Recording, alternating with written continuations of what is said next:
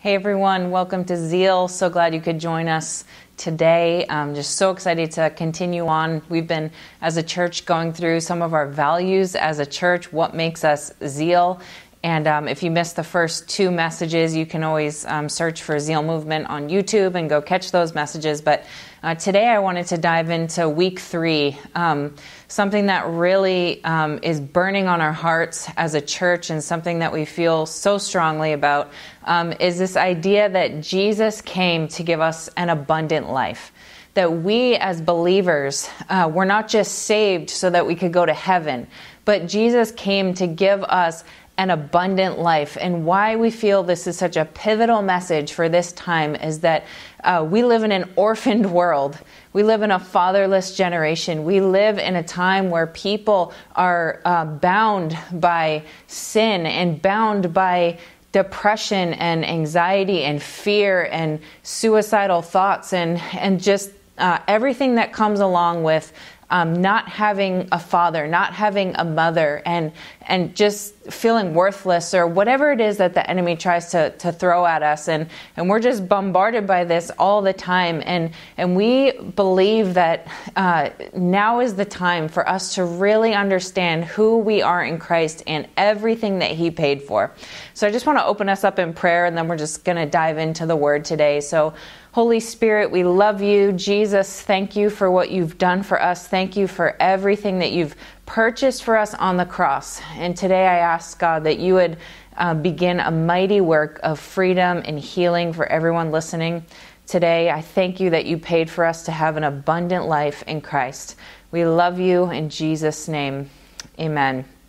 Well, I want to uh, start off in, in Luke chapter 19, verse 10, and I won't go into the whole story, but this scripture basically says it's Jesus speaking of himself, saying, For the Son of Man has come to seek and to save that which was lost. It says the, the Son of Man left heaven, left all of glory, and came down to earth for this very reason to seek and to save every single person that was lost. He's on a mission. He's praying day and night uh, for the lost to be found. It's, it's what's on the heart of God. And, you know, I think a lot of times when we think of this word save, the word save in this scripture, it means much more than just salvation. now, how many of you know if it was just salvation, that would be enough? But Jesus, in his goodness, in his uh, his goodness and his love for us, he said, No, I'm not just here to save you for eternity. I'm here to uh, pave the way for you to have an abundant life. And that word save, in, uh, it actually means, it's this word sozo. And, and this word sozo, many of you have heard this term before, but it, it actually means to save, to heal, and to deliver. And when Jesus says the Son of Man has come to save, to seek and to save that which was lost, he's, he's letting us know it's not just salvation. It's, I want to come and I want to give you new life in me, but I also want to bring you healing in every way possible in your spirit, in your soul, in your body. And I want to deliver you from every uh, power of darkness, everything that the enemy tries to throw at you. I'm going to be your deliverer. And he's causing us to see that we, the enemy comes to steal, kill, and destroy, but Jesus came to give us an abundant life. It means that we as believers, we're not supposed to walk around uh, depressed, downtrodden, defeated. We're not supposed to have a mindset that says, well, oh, the enemy is so powerful, darkness is all around us. No, no, no. He says, I've come to give you an abundant life a victorious life, that you have victory over sin, that you have victory in your life because of what I purchased. And um, it's this this process of becoming more free. You see, conversion happens immediately. Like the moment that you receive Jesus Christ as your Lord and Savior, the Bible says that you were once dead, but now you are alive in Christ. The moment that you believe in your heart and confess with your mouth, the moment you are water baptized, when you have the experience of going under the water as a dead person and coming up as a resurrected new creation in Christ, that moment is like this it's a it's a snap of a finger. It is immediate. But then there's this process of transformation. And um, it, it's, it's this process, it's a lifelong process of being transformed into the image of Christ. And that's something that's going to last our whole lives. Like here on this side of eternity, we're never going to be able to say, well, I'm fully like Jesus. I've, I've arrived. I am, I'm fully like him. No, it's not going to happen until we see him face to face, whether he comes on the clouds or whether he takes us home before then there is a process of being transformed into his likeness and becoming more like him. In, in 2 corinthians chapter 3 starting in verse 16 it says nevertheless when one turns to the lord the veil is taken away. Now the lord is the spirit and where the spirit of the lord is there is freedom.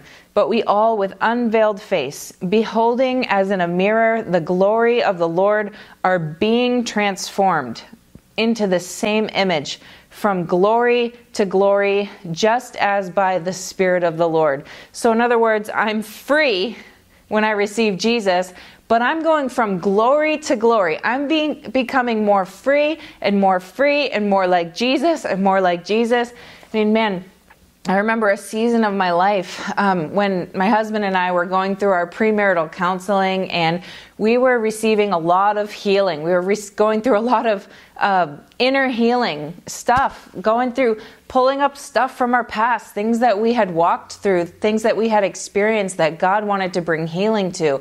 And it was an intense time. It was it was a lot of work of of just saying, okay, God, heal these places in my heart. Um, and, and it was a season of life where we were really getting free from a lot of stuff. But I want to tell you, I'm still getting free from stuff. And we're all going to, as we're on this process of becoming more like Him, Holy Spirit is bringing up stuff to lead us into greater levels of freedom every day. You know, I like to um, think about it like this the process of adoption. I know many people in our church um, either do foster care or have gone through the process of adoption um, or are very familiar with it. And, you know, there's this, this thing that happens when a child has been an orphan for their whole life.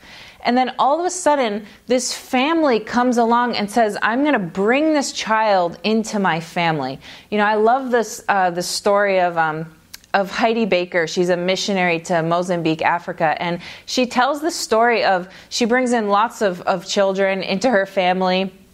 And she'll often say that she can immediately tell the difference between um, those who have been adopted for a long time and those who are newly adopted. Because the ones that are newly adopted are very timid. They walk around the house like as on eggshells kind of. They're trying to figure out their environment. They're trying to figure out what's okay, what's not okay.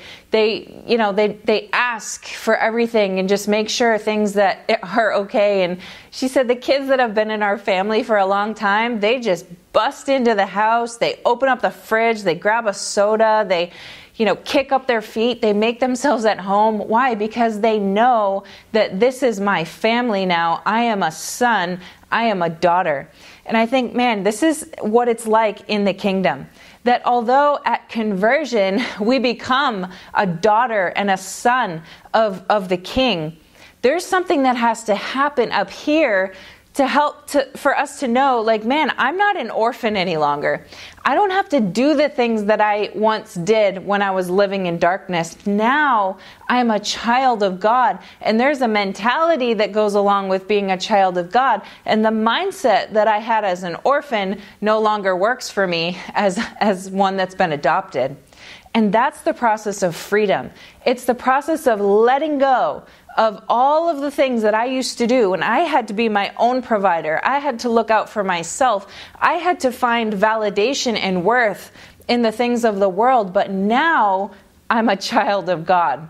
And now God's my provider. Now God is the one that fulfills my every need and desire. Now God is the one that pours his love into me so that I don't have to go looking for love in other places. But that process takes time and it happens up here. Freedom is the process of understanding everything that's available to you in Christ. It's training your mind to think, man, I'm not an orphan anymore. I am I'm now a child of God. And as believers, we have a responsibility to get free. Why? Because number one, Jesus paid for it. And I don't know about you, but I want the fullness of what he paid for. But secondly, um, when we're bound by things, when we're bound by fear, it affects everyone around us. It affects, if you're married, it affects your spouse. How many of you have ever felt like, man, why does he do that thing? Or why does she do that? And oftentimes it goes back to a wound that you have in your heart or a fear that has come about. And man, it's just one simple prayer, one healing of the heart away from that thing being resolved. Your marriage gets better when you get free. Your, your parenting gets better when you get free. How many of you don't want to repeat the same patterns that your parents did to you that you would say, well, I never will be like that or I'll never do that. And, and yet you find yourself having the same sort of reactions. It's like Jesus paid for that so that you don't have to continue in these same patterns. But even on a larger scale, we as believers need to get free because we live in an orphaned world. We live in a world where we just look around and people are um, lost. They're depressed. The anxiety and, and the suicide rates are at an all time high, and people don't know how to deal with their pain. So they turn to the things of the world to numb their pain, whether it's drugs or alcohol or sex or uh, even when those things don't work anymore, it's I, I feel like I want to end my life. And we are surrounded by a world that doesn't know how to cope with the pain that they've experienced. They don't know how to go to Jesus and get healing from their trauma. And so, we as believers, we've got to go and get free. We've got to know what it means to live an abundant life because we can't take anybody that we haven't been and anywhere we haven't been. We can't take anyone somewhere that we haven't personally been to. And so I want to I want to um, urge you today if there's you know i know in a 15 20 minute message i'm not going to be able to walk everybody through the healing that they need but my hope and my prayer today is that you would leave this message and say man i need to go deeper in this i need to get free in the areas that i've i am bound up in and so I want to have you turn um, in John chapter 9. John chapter 9. Um, and before I go here, I just want to say that um, freedom has very little to do with your circumstances, and it has much to do with how you respond to circumstances. Now, how many of you know Paul wrote uh, much of the New Testament in a prison cell? So on the, the on the outside, he really wasn't free. He was bound in chains. He was in a in a prison cell, but spiritually, he was free. He was free. He was not allowing his circumstances to dictate his mindset, to dictate how God would use him. He was not a defeated person. He was victorious. He said, You know what? I know what it's like to have a lot and a little. I know what it's like to be hungry, and I know what it's like to be well fed. I know what it's like to be in chains and I know what it's like to be free. But I, through all of these circumstances, I have found the secret to being content. And man, it's like it doesn't matter as much what happens to you.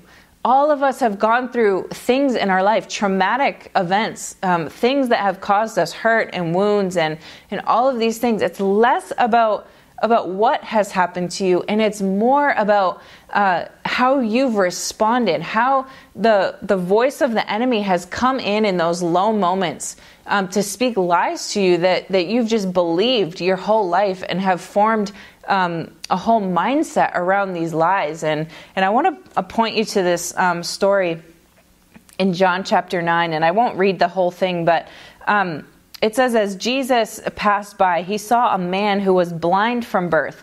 And his disciples asked him, saying, Rabbi, who sinned, this man or his parents, that he was born blind?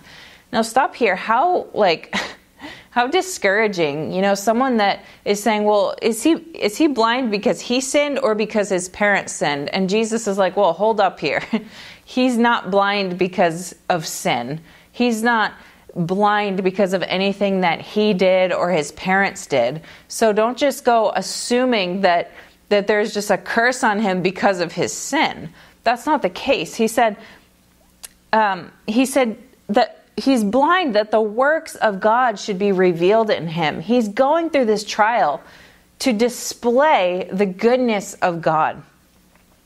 It says, um, he goes on to say, when he had said these things, he spit on the ground and made clay with the saliva, and he anointed the eyes of the blind man with the clay.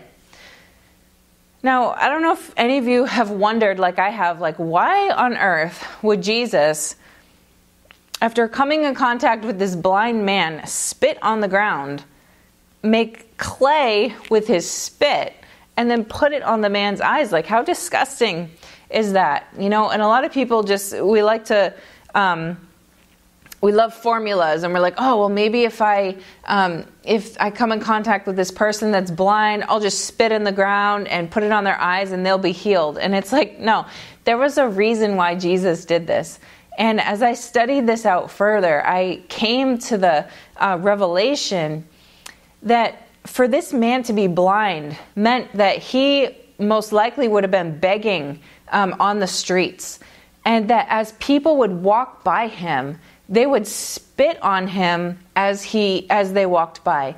Why? Because they thought that it was because of his sin that he was blind. So people as they walked by, they would just spit on him saying, you know, you're a sinner, you're no good, you're you did this, you did that and just would spit on him saying basically you're worthless. And he had to face that day in and day out. And so when Jesus got to him, when when Jesus came face to face with this man that was blind for years, when Jesus spit in the dirt, it would have brought back the trauma of everything that Jesus or that, that this man had faced for years and years and years.